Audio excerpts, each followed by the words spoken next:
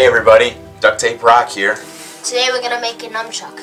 The materials for this project are going to be duct tape, scissors, and any kind of tube. Today we're going to use a Christmas wrapping paper roll.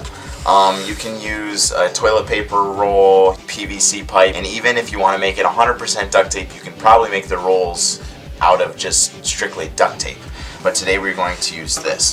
The first step is going to be taking your tube and we are going to cut our tube to 7 inches. Um, we're going to have two 7 inch tubes.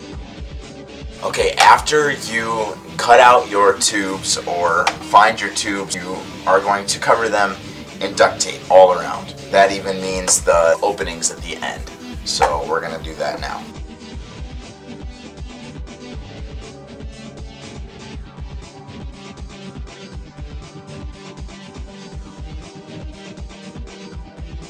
Once you are done covering both tubes completely with duct tape, then we're going to start on the rope between the two tubes. And that will be braided, so I will show you how to do that next. We show you how to make duct tape braids in our duct tape bullet video and our duct tape bracelet video, but I will show you again just for the sake of this video. Basically, all you need to do is get three long strips of duct tape. For the nunchucks, we're going to use a foot and a half of duct tape. You're going to want to get a flat top, um, a tabletop or a chair to put the duct tape over. You're going to take another strip of duct tape and this one should overlap it.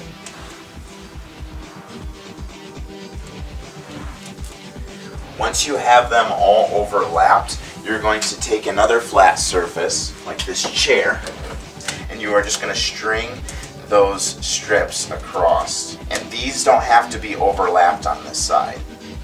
Now what you're going to do is you're going to take these strips and you are going to fold them in half so that there's no sticky side showing.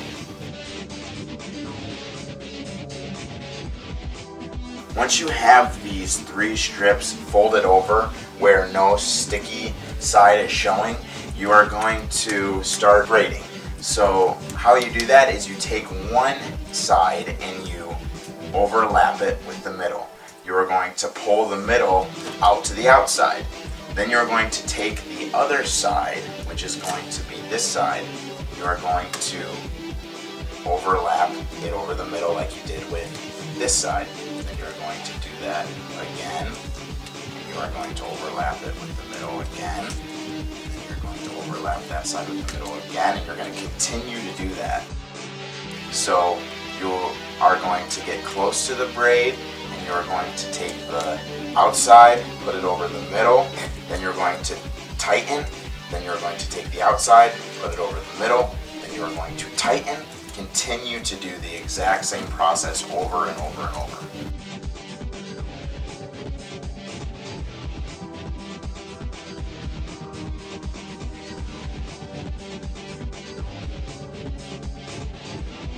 Then you're going to take uh, another piece of duct tape and once you're done braiding completely, you're going to just stick that over temporarily so that the braid does not come undone.